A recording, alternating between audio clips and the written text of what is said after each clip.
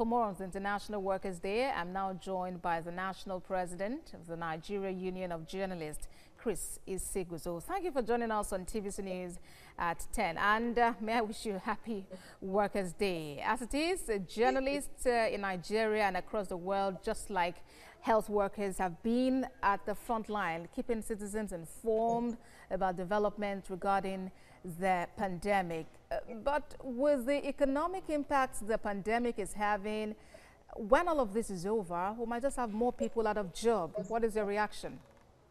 Well, uh, thank you very much and uh, good evening. Uh, well, you've raised a very uh, critical issue. We have been looking at the post-COVID era.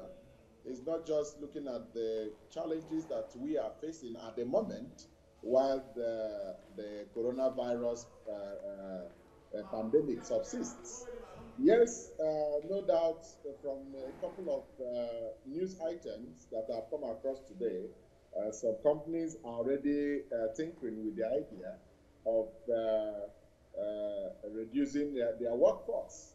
That in itself is a challenge that is most likely going to be faced by workers uh, post uh, COVID 19. Yeah, we are also looking at it, uh, but I know that uh, the media industry is a peculiar one.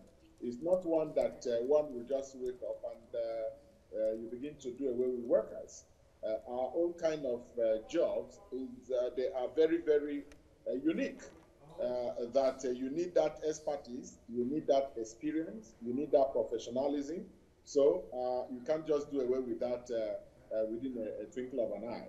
Uh, we are also having our eye on the fact that the uh, post COVID 19 era is going to be uh, really, really, really worries, Uh, worrisome. All right. Yeah. And while the pandemic is still here, let's talk about what journalists actually face and the line of duty. I mean, just like health workers, we also at the front line keeping people informed of what is going on. Let's talk about these uh, challenges and uh, welfare packages available for journalists in the country.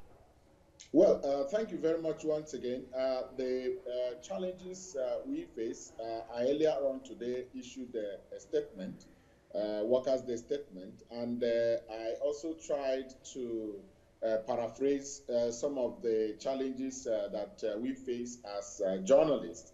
Uh, chief among them is uh, the issue of uh, poor remuneration.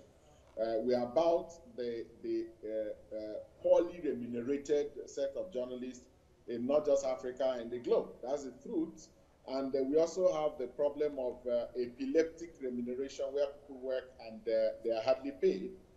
that also is a problem, which if you put them together, you are looking at economic challenge because when the journalist is not paid, of course, he has other people that are depending on him or her. Okay. Uh, so, so it has the more like a chain reaction. Indeed. Uh, we also have the problem of uh, safety and security.